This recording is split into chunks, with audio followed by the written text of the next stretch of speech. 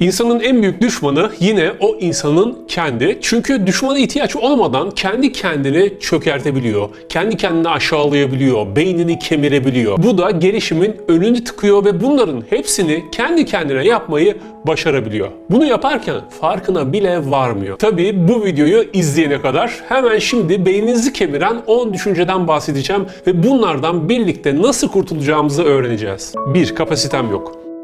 Amerika'da bir şirket kurulacak ve normal olarak bir logoya ihtiyaçları var. Bir öğrenciyle anlaşıyorlar. Sadece 35 dolara. Öğrenci işi alıyor. Şirketin ismi mitolojide zafer tanrıçasından geliyor.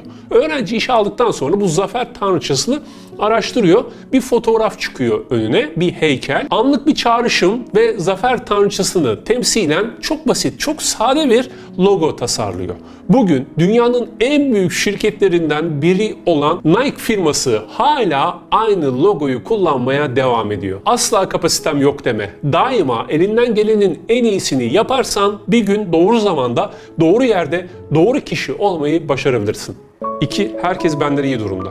Lise arkadaşım evlendi. Üniversite arkadaşım süper bir ev aldı. Çocukluk arkadaşım kendi işini kurdu. Bir şekilde hep treni kaçırdım diyorsun ve artık benim için her şey çok geç diyorsun. Peki şöyle düşünmeyi ne dersin? Lise arkadaşın genç evlendi ama şu an çok mutsuz bir evliliği var. Ev alan arkadaşın bütün ömür belki borçlarla uğraşacak. Kendi işini kuran arkadaşın büyük stres altında 7-24 gençlik yıllarını feda etmek zorunda kaldı. Uzaktan baktığında sadece insanların nasıl şanslı, nasıl mükemmel, nasıl başarılı olduklarını görebiliriz. Ama onların neler yaşadıklarını bilmiyoruz. Onların ne bedeller ödediklerini bilmiyoruz. Her şey sana bağlı. Eğer gereğini yaparsan olması gereken olacaktır. 3. Kötü olacağına hiç olmasın. Birçok insan birçok şeyi kötü yapmaktansa hiç yapmamayı tercih eder. Ama insanların zaten ilk denemeleri kötüdür ki. Ben ilk videolarıma bakıyorum. ışık, ses, tipim her şey berbat. Ama silmiyorum onları. Neticede onları çekmeseydim bugün çok daha iyi videolar çekiyor olmazdım. İlerlemenin sırrı başlamaktır.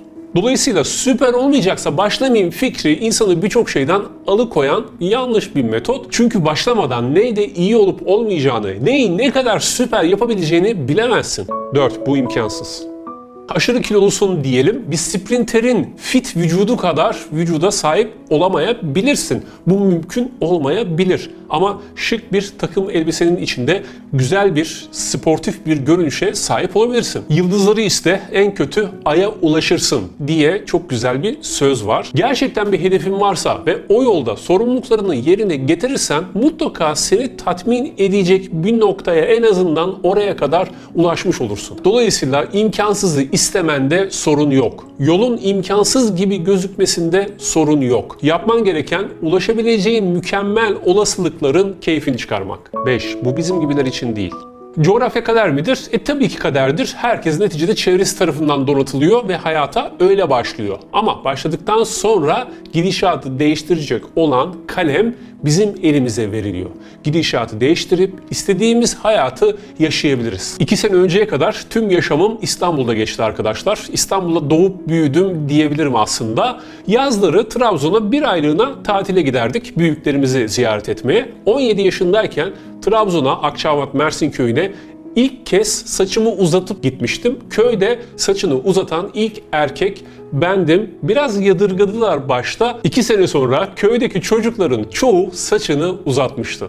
Evet, coğrafya kaderdir ama kırmakta da sorun yoktur. 6. Benden çok daha iyileri var. Bu başlığa benim için dünyadaki en başarılı insanlardan biri olan Steve Jobs'ın bir sözünü bırakmak istiyorum. Senin için hayat diye adlandırdığın etrafındaki her şey senden daha zeki olmayan insanlar tarafından tasarlanmıştır. Onu değiştirebilir veya yönlendirebilirsin. Bunun farkına vardığında bir daha asla eskisi gibi olmayacaksın. 7. Sıkıntı yok ya.